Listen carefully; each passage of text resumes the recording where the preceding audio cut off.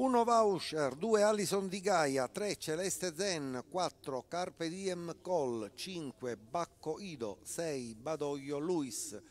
In seconda fila 8 Ciuffolotto RL, 9 Zlatano P, 10 Ungaretti Ors, 11 Atina Risaia TRGF, 12 Umbral, 13 Catrin Rec, 14 Alonso CR.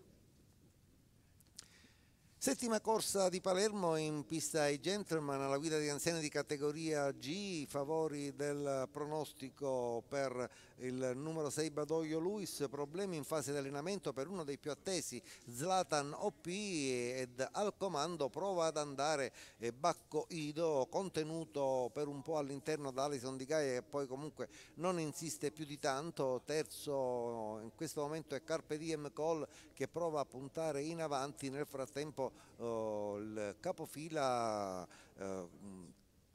Bacco Ido viene preso in mano dal suo uh, proprietario Giuseppe Pezzino e vediamo un po' i primi 400 metri mentre per linee esterne eh, prova ad avanzare Carpe Diem Col 29 appena scarsi da 1 12 e 4 i primi 400 metri con il capofila eh, Bacco Ido che continua a pedalare in avanti nei confronti di Alison Di Gaia per linee esterne Bar, eh, Carpe Diem Col 43 8 i primi 600 metri piuttosto svelti devo dire, eh, mentre in quarta posizione è ben sistemata Atina Risaia che precede il eh, favorito Badoglio Luis come al solito non bellissimo in meccanica ma è ancora lì pronto ad intervenire. Nel frattempo continua la trottata in avanti di Bacco Ido che ha stampato 14,9 e 14,8 quindi 29,7 gli ultimi 400 metri, adesso vediamo il primo chilometro di Bacco Ido che sembra volerla prendere di petto, 1, 13 e 6 il primo chilometro davvero veloce riesce da parte di Baccoido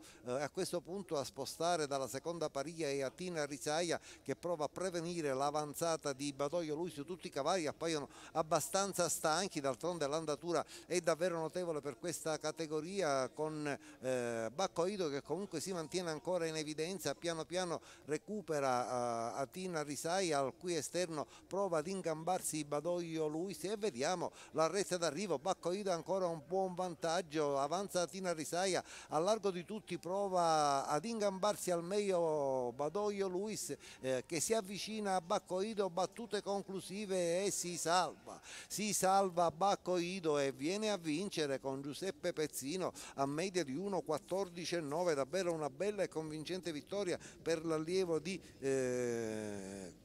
di Carlo Giordano, Giovanni Pezzino dunque in, uh, su, in auge sugli scudi, buon secondo Badoglio Luis, mentre di misura Atina Risaia conserva la terza uh, moneta sfuggendo a Ungaretti Ors. Dunque vittoria di Bacco Ido, un costo to costo a media di 1,14,9 per l'allievo di Carlo Giordano che ha preceduto il favorito Badoglio Luis ingambatosi un po' tardi ma ha chiuso piuttosto bene, buona terza la rientrante Atina Risaia in numeri dunque 5, 6, eh, 11 l'ordine d'arrivo ancora ufficioso della settima e ultima corsa di Palermo, Palermo che lo ricordo ancora vi dà appuntamento al prossimo convegno in calendario domenica 7 maggio e per oggi dalla favorita è tutto.